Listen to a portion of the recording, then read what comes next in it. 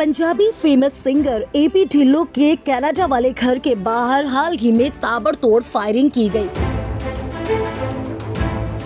ऐसे में एपी ढिल्लन को लेकर उनके फैंस काफ़ी ज़्यादा परेशान नज़र आए।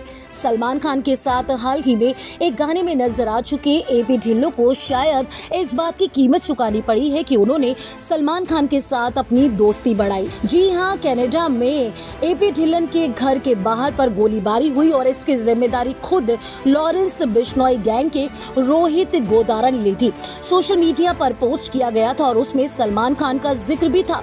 इस खबर से हर कोई परेशान हो गया था। सिंगर के लिए फैंस ये जानना चाहते थे कि इस गोलीबारी के बाद, इस इंसिडेंट के बाद एपी ढिल्लो कैसे हैं? फैंस सिंगर की सिचुएशन जानने के लिए बेचैन थे। अब फाइनली सिंगर ने इंस्टाग्राम पर एक पोस्ट किया जिसमें बताया कि वो पहले से ज़्यादा सुरक्षित है।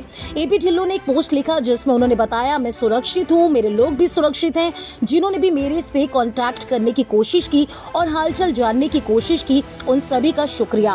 आपका साथ मेरे लिए बहुत मायने रखता है, शांति बनाए रखिए। मेरा आप सभी को ढेर सारा प्यार।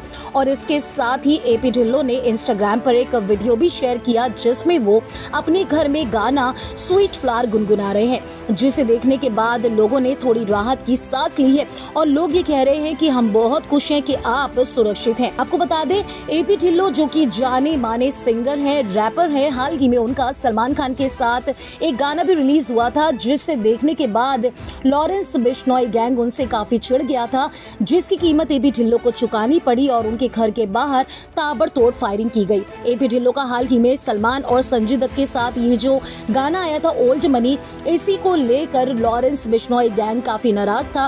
रोहित गोदारा ने गोलीबारी की ज़िम्मेदारी लेते हुए कहा था, राम राम जी, सारे भाइयों को। एक सितंबर की रात कनाडा में दो जगह फायरिंग हुई, विक्टोरिया आइलैंड और वुड ब्रिज टोरंटो। दोनों की ज़िम्मेदारी मैं रोहित गोदारा लॉरेंस बिश्नोई ग्रुप लेता हूँ। विक्टोरिया आइलैंड वाला घर एपी ढिल्लो का है। ये बड़ी फीलिंग ले रहा है सलमान खान को गाने में लेकर। तेरे घर पर आए थे, फिर या तो बाहर आता और दिखाता। अपने एक्शन करके, जिस अंडरवर्ल्ड लाइफ की तुम लोग कॉपी करते हो, हम एक्चुअल में वो लाइफ जी रहे हैं। अपनी औकात में रहो, नहीं तो कुत्ते की मौत मरोगे। जी हाँ ये सीधा सीधा धमकी दी थी लॉरेंस बिश्नोई गैंग की तरफ़ से एपी ढिल्लो को। लेकिन इसके बावजूद एपी ढिल्लो जो है वो डरे नहीं है। उन्होंने सोशल मीडिया पर पोस्ट किया है और फैंस को बता दिया है कि वो सुरक्षित है। अगर आपने फिल्मी बीट को अभी तक सब्सक्राइब नहीं किया तो कर लीजिए। आप हमारा ये वीडियो फेसबुक पेज पर देख रहे हैं तो उसे भी लाइक कीजिए। बॉलीवुड और टीवी से जुड़ी तमाम खबरों के लिए आप देखते रहिए फिल्मी बीट।